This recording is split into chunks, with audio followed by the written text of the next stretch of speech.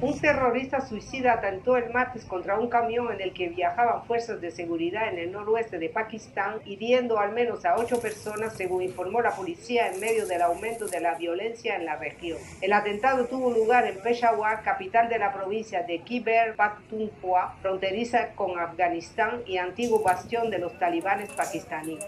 Nadie reivindicó inmediatamente la autoría del atentado, pero es probable que las sospechas recaigan sobre los talibanes pakistaníes. Nuestra operación de búsqueda está en marcha. Ya estamos en alerta debido al próximo mes de Muharram. Tenemos despliegue en todos los puntos de entrada a la ciudad. En lo que respecta a este incidente, lo investigaremos primero. El mes de Muharram es el primer mes del calendario islámico que este año comienza el 19 de julio. El camión militar resultó gravemente dañado. La policía no dio detalles sobre víctimas entre las tropas. La policía informó que las víctimas fueron trasladadas a un hospital cercano y que el ataque también dañó otros vehículos cercanos que transportaban civiles. Los talibanes pakistaníes son un grupo independiente pero aliado de los talibanes afganos.